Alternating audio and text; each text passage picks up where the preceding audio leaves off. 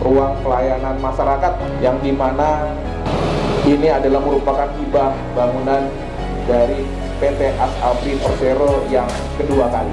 Kita dapat support dukungan dari PT Asabri Persero terkait tentang ruang pelayanan masyarakat yang kemarin di Bantar Bolang di tengah tahun dan alhamdulillah di akhir tahun 2022 ini di Polsek Bodeh. Saya ucapkan terima kasih dan apresiasi tinggi-tingginya kepada PT Asabri Persero atas segala dukungan, support hingga bangunan pelayanan masyarakat di Mapolsek Bodeh bisa dapat terwujud.